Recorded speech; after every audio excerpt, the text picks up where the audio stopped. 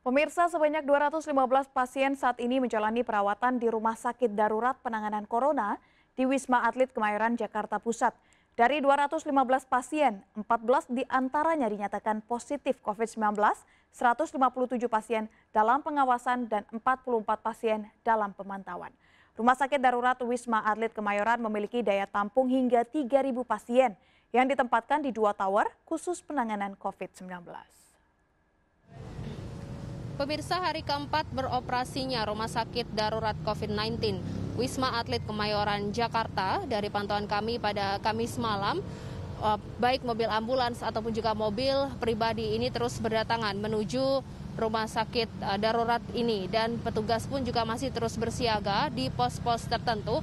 Kami pun berada di seberang pos 3 tempat mobilitas uh, mobil ambulans dan juga mobil pribadi masuk menuju ke Wisma Atlet Kemayoran.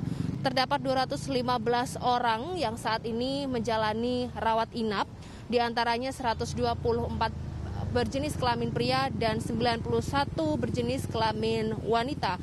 Dari 215 orang tersebut, 14 orang dinyatakan positif COVID-19 dan 157 orang berstatus PDP atau pasien dalam pengawasan dan 44 orang berstatus ODP atau orang dalam pemantauan. Dan seluruh pasien yang dirawat adalah mereka yang sakit dengan kondisi sedang ataupun juga ringan, sedangkan pasien yang memiliki penyakit penyerta dirujuk ke Rumah Sakit Rujukan Nasional.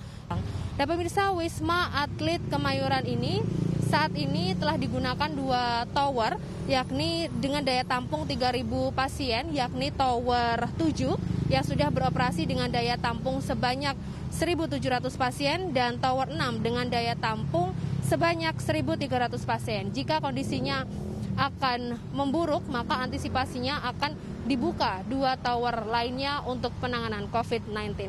Dari Jakarta